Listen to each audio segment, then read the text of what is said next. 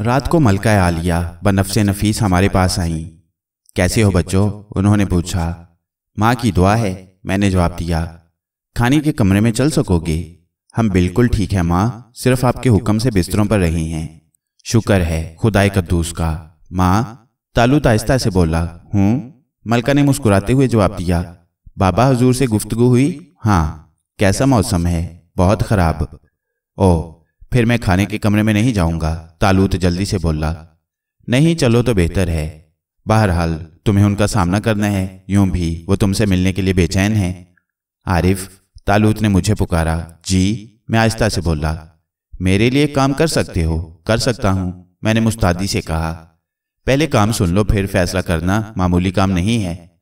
तालूत ने मस्करे अंदाज में कहा, दिल चाहे सुना दो, बहरहाल, मैं आमादगी का इजहार कर चुका हूँ, मैंने सुकून से कहा तो मेरे भाई, काम यह है कि हम दोनों यकसा लिबास पहनकर बाबा हजूर के सामने जाएँगे।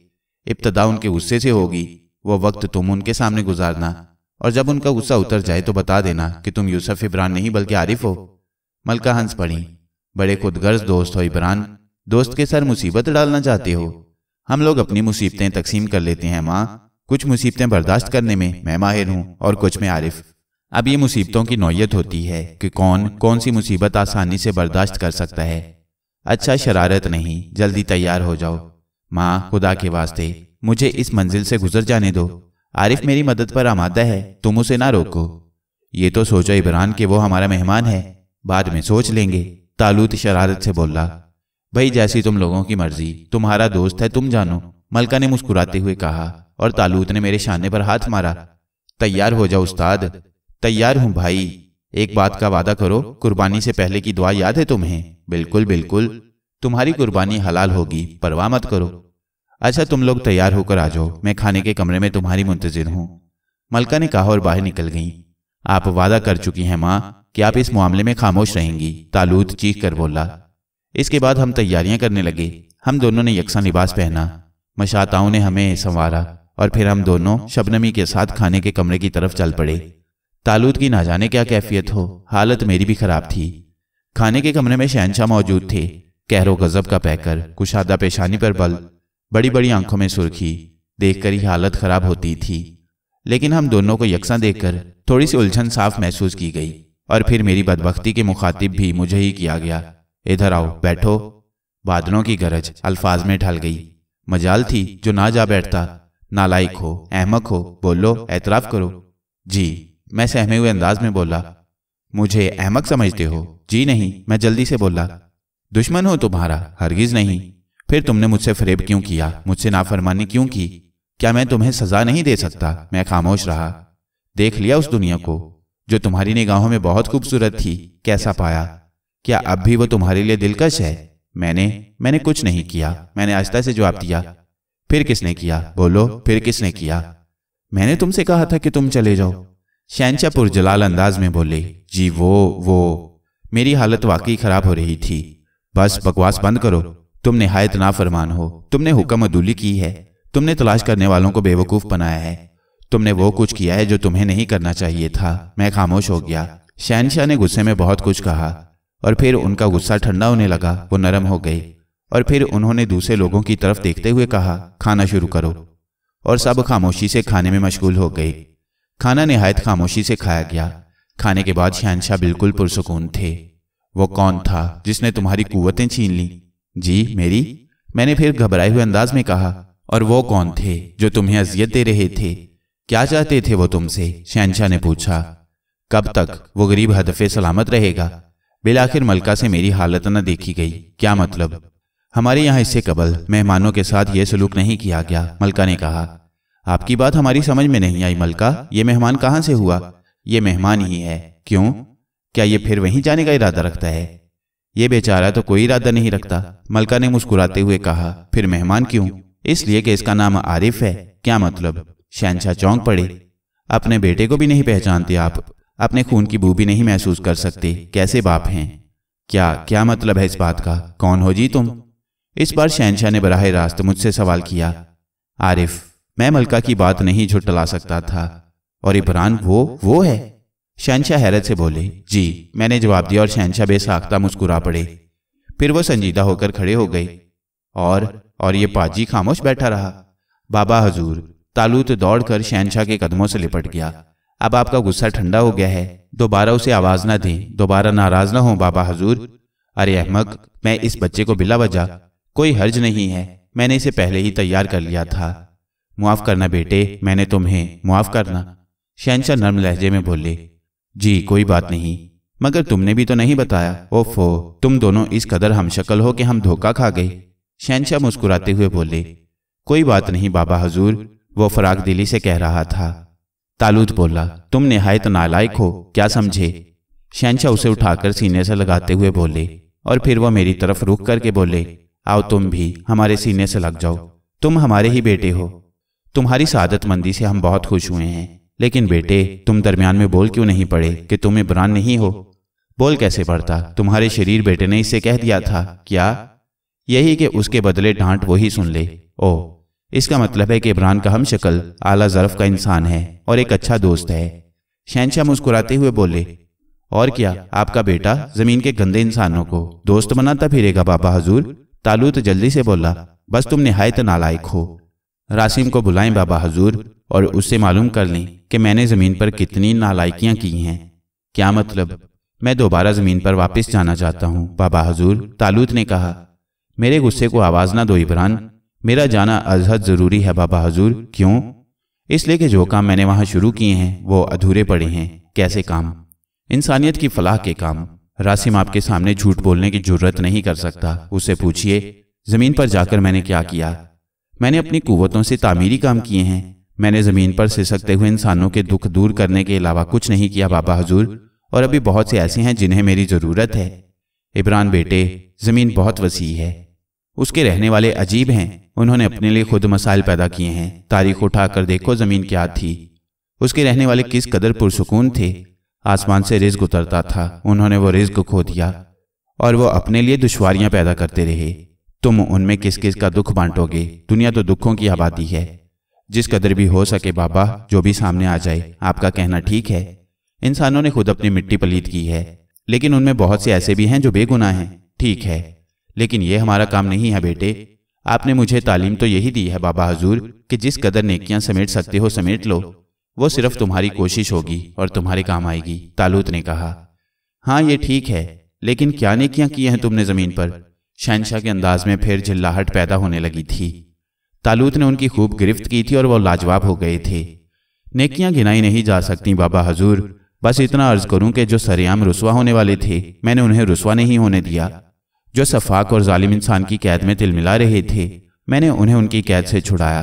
आपको अगर अपने दिए हुए सबक पर एतमाद है तो आप समझ लें कि मैंने मजलूम को नज़रअंदाज नहीं किया।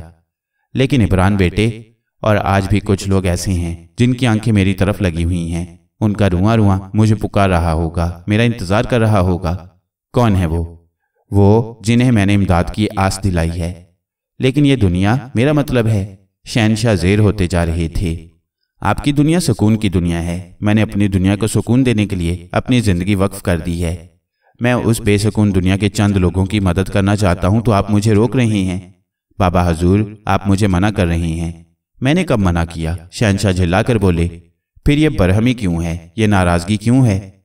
क्या मैं तेरा बाप नहीं हूँ? बा बाफजल ताला, मैं एक आला नसब का बेटा हूँ। ये तेरी माँ नहीं है? हैं बाबा हजूर? हमें तेरी ज़रूरत नहीं है। हम तुझे नहीं देखना चाहते। आपकी मोहब्बत सर आँखों पर, लेकिन क्या आपको इस बात पर मुसरत नहीं होती कि आपका बेटा दुखी इंसानियत की खिदमत करके अपना फ़र्ज़ इंजाम दे रहा है? दुनिया में जाकर तूने और जो कुछ भी किया हो इब्रान बहरहाल, तू चरब ज़ुबान ज़रूर हो गया है। बातें बहुत अच्छी कर लेता है। बिलाखिर शहनशाह के होंठों पर मुस्कुराहट फैल गई। मैंने जो कुछ कहा है ठीक है, लेकिन इब्रान हमारा क्या होगा? अगर आप बाखुशी मुझे इजाज़त दे दें तो मैं एक तजवीज़ पेश कर सकता हूँ, माँ। कैसी तजवीज़? शहनशाह ने कहा, मैं दुनिया के किसी भी हिस्से में हूँ, हर माँ की दो तीन रातें अपनी दुनिया में गुजारूँगा। ओ, शहनशाह ने उसे घूर कर देखा। काफ़ी चालाक हो गया है ये मलका। हाँ मैंने महसूस किया है। फिर आपका क्या मशवरा है? शहनशाह ने पूछा। इसकी तजवीज़ मुनासिब मालूम होती है। तो सुनो, यूसुफ इब्रान, जिस रोज चाँद डूबे, तुम यहाँ पहुँच जाओ। चाँद की डूबने वाली रात और निकलते चाँद की रात तुम यहाँ गुजारोगे और सख्ती से इस वादे की पाबंदी करोगे। मैं वादा करता हूँ, आपके हुक्म की तामील करूँगा। ठीक है। तब मैं तुम्हें उस दुनिया में जाने की इजाज़त देता हूँ। बहुत बहुत शुक्रिया बाबा हजूर। बराह करम, हम दोनों को वहीं पहुँचा दें, जहाँ से उठवाया था, तालूत बोला। क्यों? वो लोग तो तुम्हारे साथ ज्यादती कर रहे थे। अगर वहाँ ना पहुँचे और दोबारा पकड़े गए तो वो लोग इससे ज़्यादा ज्यादती करेंगे। बड़े खतरनाक लोग हैं। मगर पकड़े ही क्यों जाओगे? इसलिए बाबा हजूर, कि अब मैं भी एक आम इंसान से ज़्यादा हैसियत नहीं रखता। ओ, वो कौन था जिसने तुम्हें आग में डाला था? एक हिंदू साधु, तिल का। क्या वो ज़िंदा है? नहीं, उसे मेरे हमशक्ल दोस्त ने कत्ल कर दिया। इंसान बहरहाल इंसान है, अशरफुल मखलूकत। देख लो तुमसे वो ना हुआ जो इसने कर दिखाया। बहरहाल, पीरा बोजाज के पास चले जाओ, वो तुम्हारी मदद करेंगे। शहनशाह ने कहा और तालूत ने उठकर उनके हाथों को बोसे दिए। थोड़ी देर के बाद हम वहाँ से वापस आ गए। तालूत ने आँख दबाते हुए कहा, कैसी रही उस्ताद? लाजवाब, कमाल किया तूने, बदमाश इंसान। जिन कहो जिन, तालूत बोला। ये पीरा बोजाज कौन बुज़ुर्ग हैं? बड़े काम की चीज़ हैं। बस मैं जल्दी से हुआ हूँ। वैसे तुम्हें मेरे मुआहदे पर एतराज़ तो नहीं है? कौन सा मुआहदा वो डूबते चाँद की रात वाला। ओ नहीं, तालूत एतराज़ की क्या बात है? मैं तो बहुत खुश हूँ। इस तरह तुम्हारे वालदेन भी खुश रहेंगे। दो दिन की बात ही क्या होती है? मैंने खलूस से कहा। सच पूछो तो ये इतनी उम्दा बात हुई है, जिसका कोई जवाब नहीं है। इससे मुझे बड़ी मुराद मिल जाएँगी, यकीनन। अच्छा तो मेरी जान इजाज़त मुमकिन है, कुछ वक्त लग जाए। खुदा हाफिज। मैंने कहा, और तालूद चला गया। मैं एक गहरी सांस लेकर अपने कमरे में चला गया। और फिर मैं एक मसहरी पर दराज होकर गहरी सोच में डूब गया। मैंने आँखें बंद कर ली थी। फिर ना जाने गनूदगी आ गई, या मैं जहनी तौर पर इतना खो गया कि कोई एहसास ही ना रहा। पेशानी पर एक नरम गुदास सी गर्माहट का एहसास हुआ तो आँखें खुल गईं। आँखें खुली तो एक रंगीन बदन खुद पर झुके हुए पाया। चौदह तबक रोशन हो गए। जल्दी से उसके नीचे से सरक कर उठ गया। इबरान उसकी मुतरन्नम आवाज़ उभरी और मैंने गहरी सांस ली। वही मामला था। मैंने सुना है, इबरान, तुमने वापस जाने की इजाज़त हासिल कर ली है। उसने कहा, जी हाँ। मेरे दिल की आवाज़ आज तक तुम्हारे कानों में नहीं पहुँची, इबरान। हसीन खदोखाल वाली लड़की ने उदास निगाहों से मुझे देखते हुए कहा, तार खराब होंगे, मैंने जवाब दिया। क्या इंसानों की आबादी में किसी से दिल लगा बैठे हो, इबरान? सींग निकल आए हैं क्या मेरे? मैंने कहा, फिर फिर मेरी मोहब्बत क्यों कबूल नहीं कर लेते? क्या तुम्हें आज तक एहसास नहीं हुआ कि मैं तुम्हें किस कदर चाहती हूँ? कभी गौर ही नहीं किया। आह क्या मैं इस काबिल नहीं हूँ? आपकी काबिलियत पर मैंने गौर नहीं किया। क्यों। आखिर क्यों? इसलिए कि मैं इबरान नहीं हूँ। मैंने ड्रॉप सीन कर दिया और वो उछल पड़ी। फटी फटी आँखों से मुझे घूरती रही और फिर दोनों हाथों से चेहरा छुपाकर बाहर भाग गई। मैंने मसनू डकार ली और सर सहलाने लगा अभी और ना जाने कितने दिलचस्प वाकयात पेश आएँगे मैंने सोचा यहाँ भी इश्क मोहब्बत के जरासीम काफ़ी मकदार में फैले हुए हैं। ये खातून भी इब्रान से इश्क करती हैं। बाहर सूरत कोई अनोखी बात नहीं है। हम लोग तो बरहमचारी होकर रह गई हैं। और फिर मेरी जहनी रो अजमतपुर की तरफ़ भटक गई। शकीला का मामला बेहद पुरसार हो गया था। आखिर वो क्या थी और उसने हमारे साथ ये सलूक क्यों किया था?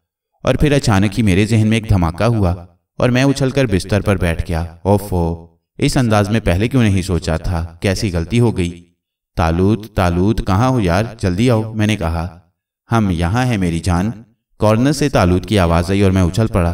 कॉर्नर्स पर एक खूबसूरत परिंदे का मुजस्मा रखा हुआ था। आ जाऊँ? परिंदे ने चौंच हिलाते हुए कहा और मेरा मुँह हैरत से खुल गया।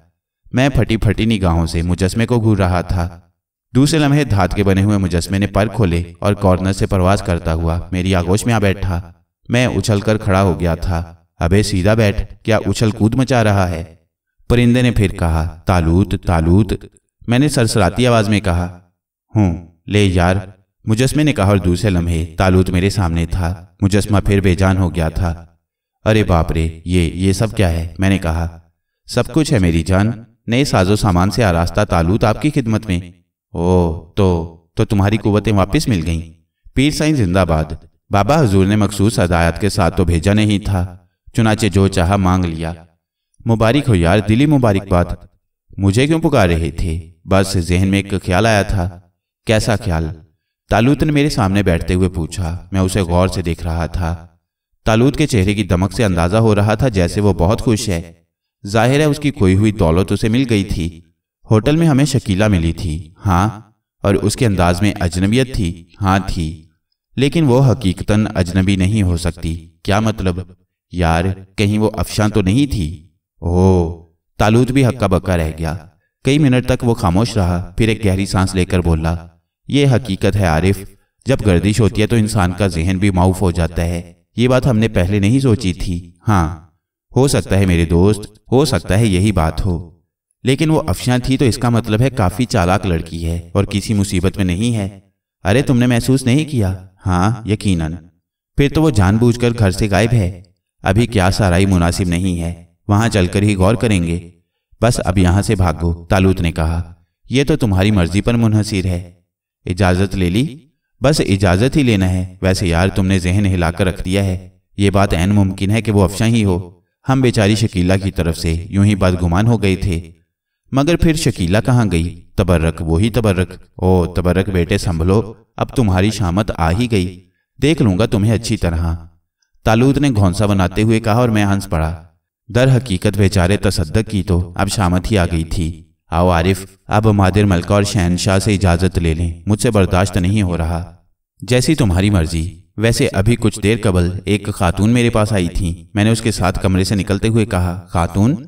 तालूत ने मेरी तरफ़ देखा हाँ क्या फरमाती थी? इश्क, अल्लाह अकबर, फिर तुमने माजरत कर दी हाँ मैंने तोसी कर दी कि मैं यूसुफ इब्रान नहीं बल्कि आरिफ हूँ, चुनाचे फरार हो गई।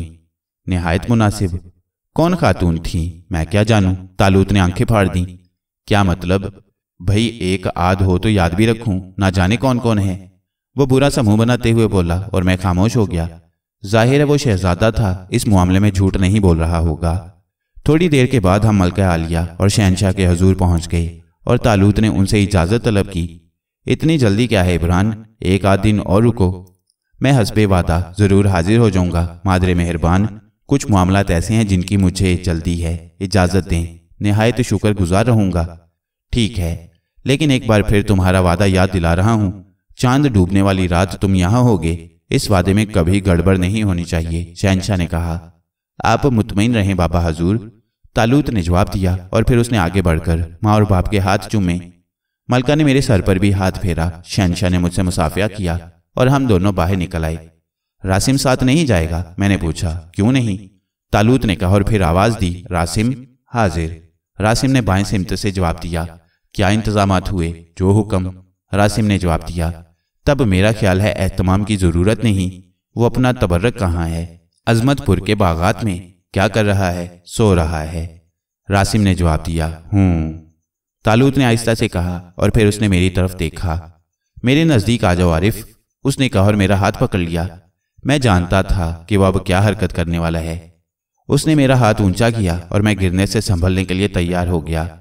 लेकिन रासिम ने हाथ नीचे कर लिया और मेरा सर चकरा गया। फिर मैंने सरसब्ज दरख्त देखकर गहरी सांस ली थी। तकनीक में थोड़ी सी तब्दीली की है। तालूत मुस्कुराते हुए बोला, ठीक है भाई, शिकार हूँ तुम्हारा। मैंने ठंडी सांस लेकर कहा, गलत। हमारा शिकार तो भाई तबर्रक है। आओ, जरा उनकी जियारत करें। प्रोग्राम क्या है? मैंने पूछा मुरम्मत करेंगे खबीस की। तालूत दांत पीस कर बोला, इसमें क्या मज़ा आएगा तालूत? फिर तुम बताओ। मेरा ख्याल है उसे तंग किया जाए। किस तरह? यार तुम भी यही पूछ रहे हो। तुम्हारे लिए ये कोई मुश्किल काम है। क्या ख्याल है? उससे शकीला के बारे में मालूम करें। वो भी मालूम करेंगे। तब फिर आओ। तालूत ने कहा और हम उस इमारत की तरफ़ चल पड़े, जहाँ तसद्दक के मौजूद होने के इम्कान थे। हमारा अंदाज़ा और रासिम का कहना दुरुस्त था। तसद्दक के कमरे में सो रहा था। हम लोग उसके सरहाने पहुँच गए। मोटे आदमी के मोटे खराटों से कमरा गूंज रहा था। अजीब मजका खेज खराटे ले रहा था। जैसे दो कुत्ते लड़ने से कबल एक दूसरे पर घुर्रा रहे हों। खराटे की इब्तदा करते वक्त उसका मुँह पूरा खुल जाता था और फिर बाद में होंठ मजबूती से भिंच जाते थे। क्या ये दम तोड़ रहा है? तालूत ने हैरत से उसे देखते हुए कहा, नहीं, खराटे ले रहा है। इसके हलक से खुरखुराहट तो ऐसी ही बुलंद हो रही है। जैसे कोई बकरा जिबा किया जा रहा हो। यार आरिफ, मुझसे इसकी यह हालत देखी नहीं जा रही। क्या मैं इसके मुँह में कपड़ा ठूंस दूँ? और फिर वह अचानक किसी ख्याल के तहत उछल पड़ा। उसने एक हाथ बुलंद किया और मुट्ठी बंद कर ली। फिर उसने तसद्दक के मुँह के करीब मुट्ठी खोल दी। सुरख रंग की कोई चीज़ मैंने भी तसद्दक के होंठों पर देखी थी। आ जाओ। तालूत ने जल्दी से मेरा हाथ पकड़ा और कमरे के कोने में पहुँच गया। क्या किया है? मैंने पूछा, लेकिन फिर अपना सवाल खुद ही तिश्ना छोड़ दिया। क्योंकि तसद्दक ने मुँह बंद किया था और उसकी खौफनाक धार कमरे में गूंज रही थी। उसके मुँह से अजीब अजीब आवाज़ें निकली और उसने बिस्तर से छलांग लगा दी। फिर वह ज़मीन पर कूदने लगा, वो थू थू करता जा रहा था। लेकिन मिर्चें ऐसे तो पीछा नहीं छोड़ सकती थीं। तसद्दक की बुरी हालत थी, चेहरा सुरख था, आँखों से पानी निकल रहा था और मुँह से अजीब अजीब आवाज़ें। वो कमर पर हाथ रख के नाच रहा था और फिर वो बाथरूम में घुस गया। तालूत पेट पकड़ पकड़ कर हंस रहा था। यार, ये तो बहुत उम्दा रकास है। इसकी ये सिफ्त तो आज ही मालूम हुई है। तालूत हँसते हुए बोला, पानी भी इसका हलक साफ़ नहीं कर सकेगा। मिर्चें खालिश थीं और यह हकीकत थी। तसदक काफ़ी देर तक गुसल खाने में गरारे करता रहा। फिर जब वो बाहर आया, तब भी उसकी हालत अच्छी ना थी। वहाँ से वो सीधा बावर्ची खाने पहुँचा। पहले कोई चीज़ खाई, फिर घी की कुलियाँ की, तब जाकर शायद उसे सुकून मिला। हम लोग भी उसके पीछे बावर्ची खाने के दरवाजे तक पहुँच गए थे। और बावर्ची खाने से निकलते वक्त उसकी निगाह हम दोनों पर पड़ी। वो बुरी तरह उछल पड़ा। तुम तुम, उसकी आँखें फैल गईं। आखा भाई तबर्रक कैसे हैं आप? तालूत ने दोनों बाजू फैलाते हुए कहा, तुम तुम यहाँ कैसे आ गए? तुम पुलिस को जुल देकर निकल गए थे। तसद्दक ने बदहवास लहजे में कहा, कि आप अंदाज़ा नहीं लगा सके, भाई तबर्रक कि हम वहाँ से क्यों भागे थे? तुम तुम तो आदि बदमाश हो। दुरुस्त ख्याल है, लेकिन हमें गिरफ़्तार कराने में आपने पुलिस की पूरी पूरी मदद की है। हाँ की है। फिर ये मेरा फ़र्ज़ था। हम भी अपना फ़र्ज़ ही पूरा करने आए हैं तबरक भाई। तुम मुझे धमकी दे रहे हो। क्या चाहते हो तुम लोग? आदि बदमाश हैं। अगर चाहें तो आपको कत्ल करके खामोशी से बाग के किसी हिस्से में दफन कर दें। लेकिन हम इस तरह मारने के काल नहीं हैं। आपको ऐसी सजा देंगे तबरक भाई जिससे दूसरे भी महफूज होंगे। वैसे मेरा ख्याल है मिर्चें आपको पसंद आई होंगी। आख थू आख थू। तो तो ये सब कुछ तुमने किया है जलीलो। ये तो इब्तदा है, तबरक भाई। हम तो कबर में भी तुम्हारा पीछा नहीं छोड़ेंगे। आपने हम दोनों की जान ले ली है। हम भी आपको ज़िंदा नहीं छोड़ेंगे। हैं? क्या मतलब? क्या मतलब? तसद्दक चौंक पड़ा। हाँ तसद्दक, हमारी जिंदगियाँ तुम्हारी वजह से गईं। जिंदगियाँ गईं? ओ, अनजान क्यों बन रहे हो? क्या तुमने ही हमें गिरफ़्तार नहीं कराया था? लेकिन जिंदगियों वाली बात, पुलिस ने हमारे ऊपर इतना तशद किया कि हम मर गए। मर गए? तसद्दक का मुँह भाड़ की तरह खुल गया। ओहो, क्या तुम्हारे यहाँ के अखबार में हमारी मौत की खबर नहीं छपी? नहीं, उनमें तो तुम्हारे फरार की कहानी है। पुलिस रिपोर्ट तो ये है कि तुम दोनों बड़े पुरस्कार अंदाज में फरार हो गए। कुछ पुरस्कार लोगों ने इस फरार में तुम्हारी मदद की है, तसद्दक बोला। खूब। ज़ाहिर पुलिस इसके अलावा और क्या कह सकती थी। हालाँकि हकीकत यह है कि हमारे ऊपर तशद की इंतहा की गई। और फिर जब हम मर गए तो हमारी लाशें दरिया में डलवा दी गईं। दरिया में। तसद्दक उछल कर बोला हाँ दरिया में। तालूत अल्फाज से बातें हुए बोला, लेकिन फिर फिर तुम वहाँ से कैसे निकले? रूहों के लिए कौन सी बात मुश्किल है? रूह? तसद्दक की चीख निकल गई, मगर तुम यहाँ क्यों आए हो? उन लोगों से इंतकाम लेने जो हमारी मौत के जिम्मेदार हैं। अरे अरे मर गया मर गया। तसद्दक ने अपने भारी भार कम बदन के साथ बड़ी फुर्ती से दरवाजे की तरफ़ छलांग लगाई। मैंने उसे रोकने की कोशिश की, लेकिन तालूत ने मेरा हाथ पकड़कर मुझे रोक लिया। भाग रहा है, मैंने कहा। जाएगा कहाँ? तालूत पूरी तरह शरारत के मूड में था, और फिर वो मेरा हाथ पकड़े बाहर निकल आया। तसद्दक बड़ी तेज़ी से दौड़ रहा था, हम उसे साफ़ देख रहे थे। बाग के एक कोने में पहुंचकर वो रुका और खौफजदा निगाहों से चारों तरफ़ देखने लगा। तालूत ने मुझे इशारा किया, और इस बार उसने मुझे बहलावा भी नहीं दिया था। बस हल्का सा चक्कर आया और दूसरे लम्हे हम तसद्दक की पुश्त पर थे। तसद्दक का रुख सामने था। तो प्यारे तबर्रक तालूत बोला और तसद्दक की दहशत आमेज चीख निकल गई। उसने गर्दन घुमाकर हमें देखा और बुरी तरह चीखने लगा। उसने फिर भागने की कोशिश की, लेकिन तालूत ने उसका गिरेबान पकड़ लिया। कहाँ तक भागोगे मेरी जान? तालूत बोला। चलो भाग जाओ। उसने तसद्दक का गिरेबान छोड़ दिया और तसद्दक कमान से निकले हुए तीर की तरह दौड़ा। तालूत ने हाथ आगे बढ़ाया और मैंने भी वो खौफनाक मंजर देखा, जो बिलाशुबा इंसान को दहलाने के लिए काफ़ी था। खुद मेरी भी ना जाने क्या हालत होती। अगर मैं तालूत से वाकिफ ना होता, तालूत का हाथ किसी रस्सी की तरह दराज हो रहा था। उसका पंजा तसद्दक की गर्दन के साथ साथ आगे बढ़ रहा था और बिलाशुबा, तसद्दक कोई सौ गज दूर गया होगा। तब तालूत ने दोबारा उसकी गर्दन पकड़ ली और फिर उसका पंजा तसद्दक को वापस उसके पास खींच लाया। तसद्दक अब होशो हवास खो बैठा था। अच्छा प्यारे तसद्दक अब इजाज़त दो और हाँ हमारी तरफ़ से ये तोहफा कबूल करो आते जाते रहेंगे। तालूत ने एक चीज़ निकाली और तसदक की पुश्त से लगा ली मैंने चौंक कर उस सिया को देखा सिया रंग की लंबे लंबे बालों वाली एक दुम थी जो ज़ोर ज़ोर से हिल रही थी। दुम तो ठीक थी चिपकाई जा सकती थी लेकिन वो हिल किस तरह रही थी ये मेरी समझ में नहीं आया। तसदक ने तो शायद इस पर गौर भी नहीं किया था। फिर तालूत ने दोनों हाथ उठाए और पीछे हटाया तो सद्दक आँखें फाड़ फाड़ कर चारों तरफ़ देख रहा था। अरे, क्या ये अंधा हो गया? मैंने तालूत के कान में सरगोशी की। नहीं, बस हमें नहीं देख सकता। मुझे भी? हाँ तुम्हें भी। ओ, मैंने गहरी सांस ली। इसका मतलब है इस बार तुम ज़रूरत से ज़्यादा ही मुसल्ला होकर आए हो। मगर ये तुम? तोहफा तन दी है, भाई तबर्रक को। यार, ये हिल कैसे रही है? हमेशा हिलती रहेगी। अब इसका पूरा नाम तसद्दक दुमदार है साहेब। तालूत ने कहा और मैं हंस पड़ा। हम दोनों कुछ फासले से उसे देख रहे थे। उस बेचारे के हवास अभी तक दुरुस्त नहीं हुए थे। उसे शायद यकीन नहीं आ रहा था कि हम उसे छोड़कर चले गए। वह अब भी जरा सी आहट पर चौंक कर चारों तरफ़ देखने लगता। एक बात है तालूत, मैंने कहा, क्या? हम उससे शकीला के बारे में तो कुछ भी नहीं पूछ सके। पूछ लेंगे, जरा दम ले लेने दो से। अब इसे छोड़ेगा कौन? तालूत ने हँसते हुए कहा, और हमारी निगाह फिर तसद्दक की तरफ़ उठ गई। वो अपना लिबास दुरुस्त कर रहा था और फिर वो एक तरफ़ चल पड़ा, ना जाने कहाँ जा रहा था। तालूत ने मुझे इशारा किया और हम दोनों उसके पीछे चल पड़े। तसद्दक शायद हमारे कदमों की चाप भी नहीं सुन पा रहा था। बहरहाल, चंद मिनट के बाद वो दरख्तों के दरमियान खड़ी एक लैंड रूवर तक पहुँच गया। हम उसका मकसद समझ गए थे। फिर भला, लैंड रूवर में वो अकेला क्यों फिरता? हम भी उसके साथ थे और उसकी पुश्त पर बैठ गए थे। तसद्दक लैंड रूवर की सीट पर बैठा और फिर उछल पड़ा। उसने पुश्त पर हाथ मारा और बालों वाली दुम उसके हाथ में आ गई। तसद्दक की बेसाख्ता धाड़ बहुत जोरदार थी। शायद वो दुम को साम समझा था। उसने सीट से छलांग लगाई और खुले हुए दरवाजे से बाहर जा पड़ा। बुरी तरह गिरा था। लेकिन दुम उसके साथ थी। उसे महसूस करके तसद्दक ने फिर चीख मारी और ज़ोर से खींचकर खुद से अलग करना चाहा। लेकिन फिर दूसरी चीख भी फितरी थी। एक बार फिर वो गिर पड़ा। तब उसने संजीदगी से तुमको हाथ में पकड़कर देखा और उसका रंग जर्द हो गया। उसने अच्छी तरह दुम टटोली उसे चेहरे के करीब करके देखा। अरे अरे, ये क्या हो गया? हाय, ये क्या हो गया? वो रोती हुई आवाज़ में बोला, अरे बाप रे, अब क्या करूँ? दुम निकल आई है। फिर वो फूट फूट कर रोने लगा। अजीब मजका खेज आवाज़ में रो रहा था और फिर चुप भी अचानक ही हुआ था। शायद कोई ख्याल आ गया था। अरे बाप रे। एक बार फिर वो सहमे हुए अंदाज में चीखा और फिर जल्दी से लैंड रूवर में घुस गया। उसने बमुश्किल तमाम दुम समेटकर किसी तरह एक तरफ़ रखी।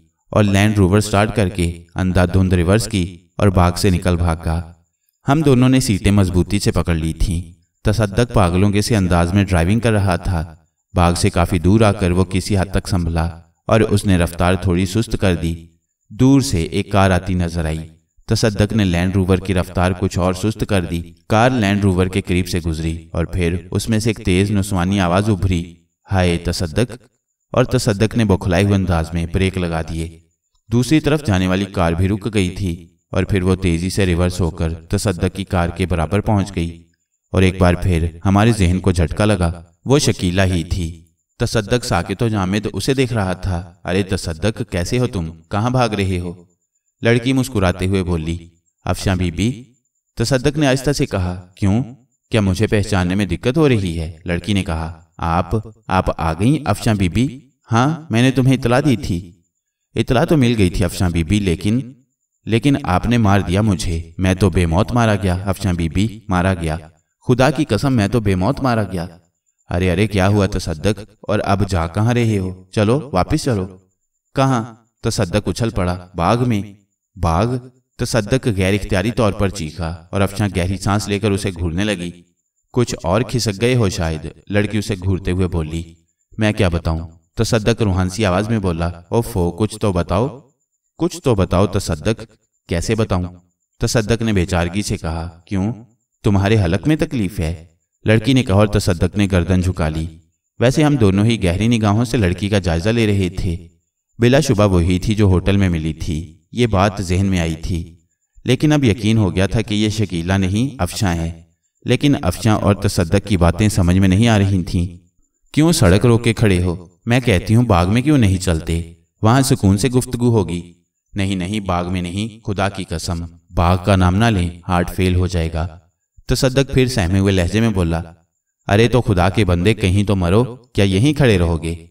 आप आप मेरी गाड़ी में आ जाएँ अफशान बीबी और अपनी गाड़ी का क्या करूँ यहीं किनारे कर? दें फिर वापस मैं आपको इसी जगह छोड़ दूँगा। और जाओगे कहाँ? कहीं भी नहीं। बस किसी पुरसकून जगह गाड़ी रोककर बातें करेंगे। यहाँ क्या मुसीबत आ रही है? ये जगह भी तो पुरसकून है। गाड़ी साइड में करके नीचे उतर आओ। दरख्त के नीचे चलकर बैठते हैं, ना जाने बाग के नाम पर। तुम पर क्यों वहशत सवार है? बस मैं आपको नहीं बता सकता अफशा बीबी। ना बताओ जहन्नुम में जाओ। अब उतरो तो सही। अफशा बीबी, मैं उतर भी नहीं सकता। तसद्दक ने लजाजत से कहा, अरे अरे, तुम तो वाकई पागल हो गए हो। मैं सोच रही हूँ तुम्हारी दिमागी हालत पर एतबार करूँ या ना करूँ। आप जो कुछ भी चाहें समझ लें। आप इसी गाड़ी में आ जाएँ। तसद्दक भराई हुई आवाज़ में बोला और अफशा ने गहरी सांस ली। फिर उसने गाड़ी स्टार्ट की और एक झटके से आगे बढ़ाकर सड़क के किनारे पार्क कर दी और फिर दरवाज़ा खोलकर नीचे उतरी और लैंड रोवर में आ बैठी।